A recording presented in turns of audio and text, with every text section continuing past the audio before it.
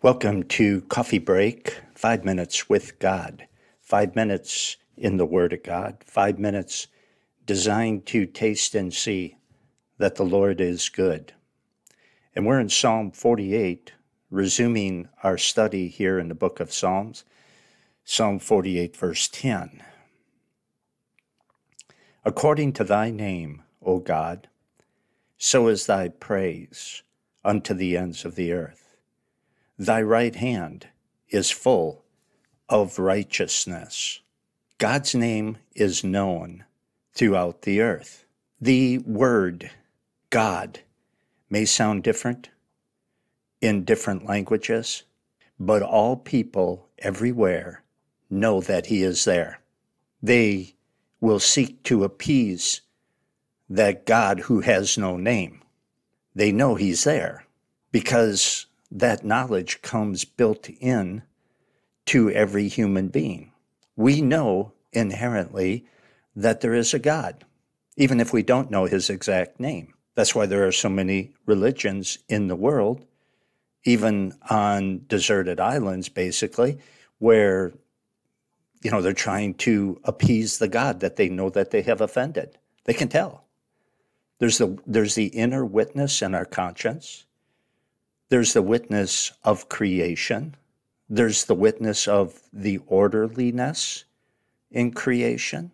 You got to work real hard at becoming an atheist. I mean, you got to love your sin and your rebellion an awful lot to get to the point where you deny the existence of God because that does not come naturally to anyone. So God's name is known throughout the earth. Everyone knows that He's there. Everyone also knows that he is holy and that they have to answer to him on his terms. Verse 11 Let Mount Zion rejoice, let the daughters of Judah be glad because of thy judgments. Be glad, Israel, because God will personally make sure that you're going to be treated fairly. God must do that eventually, or he would not be true to himself. Right has to triumph because God is a God of righteousness and he does not lose. Right has to triumph. Fairness, unfairness, I should say, must be punished. And those who suffer unjustly in this world must have their situation reversed. And that is one reason for eternity to make square those things that were not right in this world. 12. Walk about Zion and go round about her.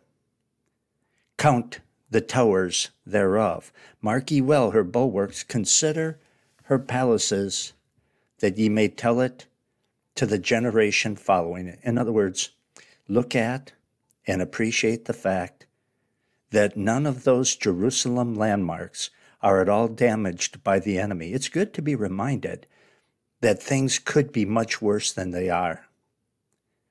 And that and that is always the case if you're a Christian. Things can always be worse than what they are. Even if a Christian has absolutely nothing good in their life today, they still have a great eternity. They're not burning in hell. Things could be much worse all the time. 14 For this God is our God forever, and ever he will be our guide even unto death. If God is your God, then you can be sure that he is your guide also. It may not feel like it, but don't go by feelings. You may not like it, but whether we like something or not does not determine if God is leading. He guides us today, and he will guide us after we die because he said so. And he is a God who is true to his word, and I'm out of time. Study the whole Bible with me, just like we did today, verse by verse, four series going through the Bible at the Bible verse by. That's the scripture verse by verse website found at the Bible verse by. And as always, if you would like to be a part of this ministry and stand with me and help me to get out the Word of God, then pray for me and pray for God's Word. And when you take a break from studying, Go to the front page at the BibleVerseByVerse.com, click the donate button, and prayerfully give as the Lord may lead. And I'll see you next time.